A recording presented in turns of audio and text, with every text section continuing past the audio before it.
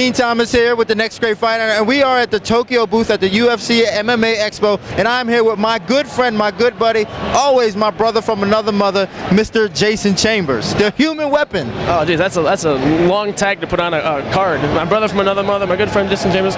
Um, what's up, Din? How you feeling? Man, you know, I'm just out here chilling. I, I want to know what you doing out here. You out here chilling? What are you here? What um, what company are you here representing? Well, I mean, I'm here for uh, Shine, obviously, and then also Fight Magazine. I write for Fight, but I'm here because one, I love MMA. I mean, and, and really, if you like MMA, you, you, have to love the UFC. They're, they're they're they're the brand within MMA right now. Um, but as you know, you were supposed to fight on that Shine card, and and a lot of people kind of wanted to know what's happening with Shine. Shine's putting on an event in August, and why I'm privy to this information is that I just worked out a deal to be the COO of Shine. So I'm going to help Devin Price steer the ship and you know put together some great fights and hopefully actually get Din fighting one of these days. You know, I, and I just want to let you know right now, I don't fight for cheap. You know what I'm saying? I, I want at least, I want at least a hundred grand. So you and Devin can, you know, you know, scrape that up. You know, look in the seats of the, of the couch, the sofa, scrape up a hundred grand. I'm there with you. I, I, might have that change laying around in my uh, in my Yugo. it's a really big Yugo. So, so what else is going on with you these days? I mean, uh, it's a lot of big things going on with you.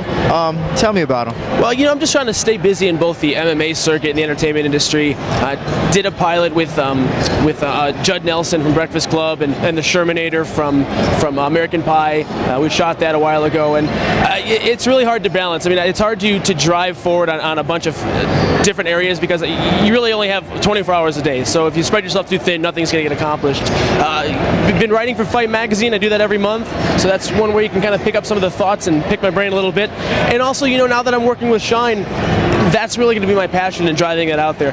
It, coming from a fighter's perspective, you know, there's certain things that, that you know, that I know, that the fans know, that, that we want to see. And I think it, it's going to lend a unique opportunity for, for fans and fighters to see fights not in a cage, but in a ring, if you miss the pride style, because it offers a different, you know, you fight in a cage, it's different than fighting in a ring. Yeah, you know, it, it, really is. So it gives you a different opportunity. If you want to see great cage fights, you can watch the UFC. You want to see great fights in a ring, you can come watch Shine. And um, one of the other things we want to do is is push forward with like Grand Prix. You know, back back in the old Pride Shockwave days, you see the guys fight two, three, four times in a night, and that's something that I, as a fan, love to see. I was like, that's great. You know, I didn't want to wait two months to see the next round of a tournament. You know, I want to see those guys be warriors and, and take it all there, right there.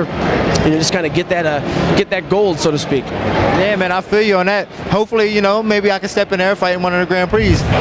Jason, how do you think social media can impact a fighter's career and help him advance to the next level? I mean, social media and you know the internet now is, is, is, huge. The average American spends more time in front of their computer than they do watching TV. And if you look at like how radio was taken over by television, television now is not necessarily being taken over, but it's being integrated more and more virtually and virally.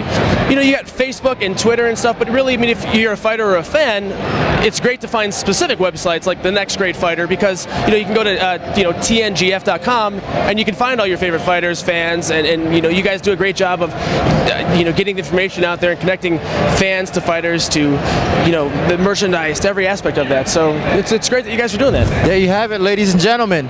Jason Chambers, the words from the original human weapon himself. I'm Din Thomas with the Next Great Fighter. That's Jason Chambers. We signing out. Peace.